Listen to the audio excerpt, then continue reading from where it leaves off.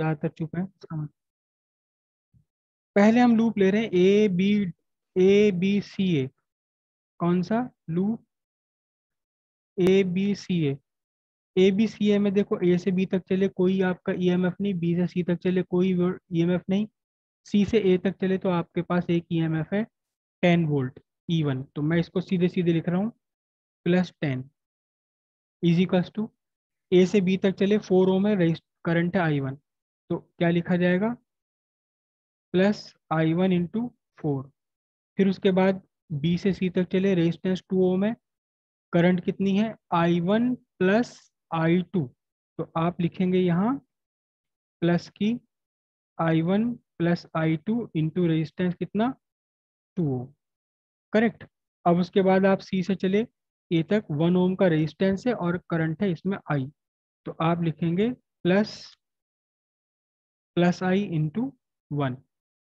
ठीक है? सर, बना लेते हैं। ये बना आपका four I one plus two I one plus two I two plus I. ठीक है? यानी कि four I one, two I one, six I one, ten is to six I one plus two I two plus I plus I. ये आपकी एक equation बन गई। देखो इसमें कितने हैं? तो हमारे पास अननोन एक तो हमने आई लिया है, एक आई वन लिया है और एक आई टू लिया है। तीन अननोन क्वांटिटीज हैं, तीन अननोन करंट है। बाकी सब निकल ही जाएँगे। ठीक है, अब लूप ले लेते हैं हम। कौन सा वाला लूप लूँ बताओ? अब मैं लूप ले रहा हूँ, ये A D C A A D C A कौन सा लूप लिया? लूप लिया A D C A A D C A में आपको चलना है, कोई ई एम एफ़ नहीं पड़ा कोई ई एम एफ़ नहीं पड़ा फिर से ये पड़ गया प्लस टेन वोल्ट तो इसमें भी प्लस टेन ही लिखा जाएगा इज़ इक्वल्स टू ए से डी ए से डी पर करंट है कितनी? आई माइनस आई वन और रेजिस्टेंस कितना है? फोर ओम तो आप लिखोगे plus I minus I one into four कंजूसी मत करना प्लस माइनस लगाने में। फिर उसके बाद डी से सी आप चले हैं रेजिस्टेंस है टू ओम करंट कितनी है? करंट है I one minus plus I two minus I और क्योंकि करंट के अपोजिट चलना पड़ा निगेटिव करंट लेंगे इसे पूरे को तो लिया माइनस माइनस में कितनी? माइनस में I one plus I two minus I I one plus I two minus I into two ठीक है? फिर उसके बाद में आप यहाँ चले करंट की ही डायरेक्शन में चल रहे हैं करंट है कितनी? आई और रेजिस्टेंस है वन तो प्लस आई इंटू वन अब आप इससे फिर से एक इक्वेशन बना लीजिए। Ten is equals to four I minus four I one minus two I one और माइनस टू आई टू, या आई टू है। माइनस से two I one, minus two I minus minus plus हो जाएगा, plus two I और plus I, ये वाला। और अब इक्वेशन बना लीजिए। आई कितनी है जी? फोर तो चार तो ये रही और एक ये रही। Five I. अब ये क्या बना जी? फोर आई वन ये रहा, टू आई वन ये रहा निगेटिव का। नहीं बल्कि चार दो सात सात आई हो गई ना ये। सर सेवन आई है। सेवन आई हो गया हाँ। सेवन आई और आई वन कितना माइनस का ये माइनस के माइनस सिक्स आई वन और ये कितना बन गए?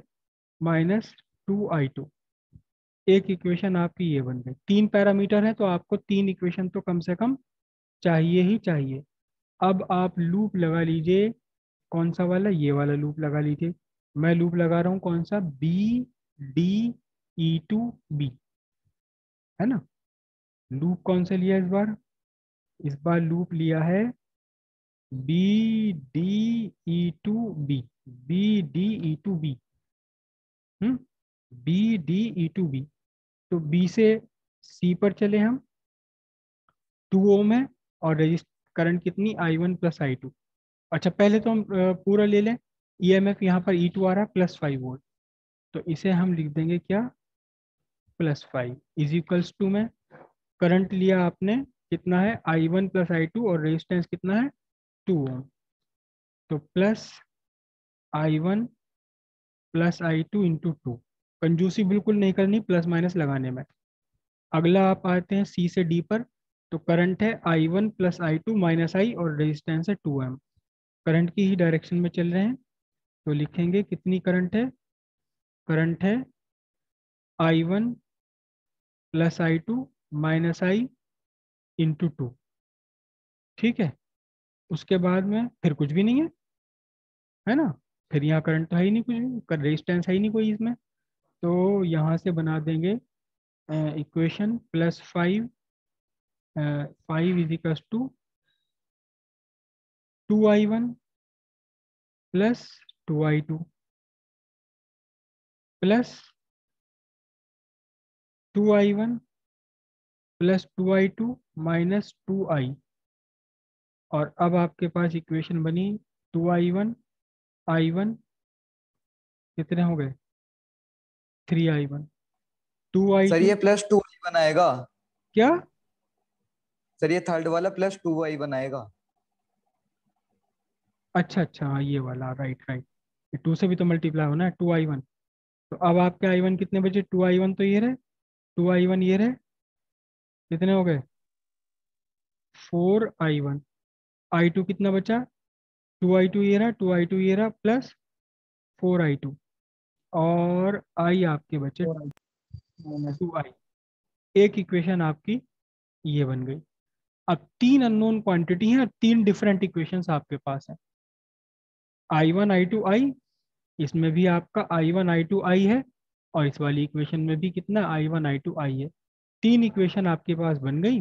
तीनों इक्वेशन को आप साइमल्टेनियस से सॉल्व कर लीजिए। आपके I one I two I three I one I two I निकल जाएगा। आई वन आई टू आई निकल जाएगा। अब देखना जरा ध्यान से। आई वन आई टू आई ये आंसर नहीं है। मैं सपोज़ मैं इनका मान के चल रहा हूँ। आप खुद निकाल लेंगे। सपोज़ आई वन निकला यहाँ से one point two ampere I two निकला यहाँ से वन पॉइंट फाइव एम्पियर और आई आपका निकल कर आया टू एम्पियर तीन आंसर हो गए। लेकिन अब ये आपके फाइनल आंसर नहीं है। अब आपको लेना है अब आपको बताना है कि आर्म ए बी में कितनी करंट है। आर्म ए बी में है सिंपली आई वन तो आर्म ए बी में करंट हो गई one point two ampere arm B C में कितनी करंट है? आई आर्म बी सी में करंट है I one plus I two अब आपकी आई वन कितनी है? One point two I two कितनी आपकी आवाज़ नहीं आ रही। मेरी आवाज़ सर बिल्कुल आ रही है उसका नेटवर्क खराब होगा। हाँ क्लियर चल रही है मेरी आवाज़ यहाँ पे साउंड वाउंड। हाँ एनीवे तो अब आपको बीसी में करंट बताना है कितना बीसी में करंट कितनी? I one plus I two तो current through BC current through BC is I one plus I two one point two plus one point five यानी टू पॉइंट सेवन आ जाएगी। करेक्ट इसी तरह फिर आप बताएँगे current in C D arm C D C D में कितना? I one plus I two minus I यानी one point two plus one point five minus two तो two point seven minus two कितना हो गया? आंसर आपका zero point seven है ना? इसमें कितनी करंट है आपके इसमें यहाँ? डी से ए डी से ए आर में कितनी करंट है? आई माइनस आई वन तो I minus I one two ampere minus one point two zero point eight ampere और इस आर्म में कितनी करंट है आपकी? करंट है यहाँ I two I two I two कितनी है आपकी? सीधे वन पॉइंट फाइव अच्छा इसमें अगर बाई द वे जैसे हमने ये जोड़ घटा करा है सब ये रहा, इसमें कितनी करंट आई है? आई की वैल्यू सीधे सीधे टू एम्पियर है। तो सपोज़ सपोज़ आपका जो है I one plus I two इसमें तो नहीं हो सकता, लेकिन यहाँ हो सकता है आपका निगेटिव आंसर आ जाए। मतलब current through C D C D कितनी? I one plus I two minus I I one plus I two minus I अगर मान लो आई आपकी बड़ी रही आई आपकी तीन एम्पियर रही बाई दी वे तो इन दोनों को जोड़कर कितना आएगा? माइनस माइनस में आंसर आ जाएगा। तब आप लिखेंगे the direction of real current in B C is from C to B बात समझ रहे हैं? आपने, जब आपने करंट बनाते हैं तो आपकी मर्ज़ी कहीं भी बना दो। लेकिन पता चला कि इस आर्म में जब आपने करंट फाइंड करी तो आपका जो करंट का आंसर है I one plus I two minus I ये निगेटिव आ गया। तब आप लिखेंगे कि the real current in arm DC is from D to C आपने तो ले ली सी से डी की तरफ़, लेकिन एक्चुअल में करंट चल रही है डी से सी इसीलिए आपके जो आंसर आ रहा है वो निगेटिव आंसर आ रहा है। क्लियर है इतनी सारी बात आपको? सबको क्लियर है इतनी बात?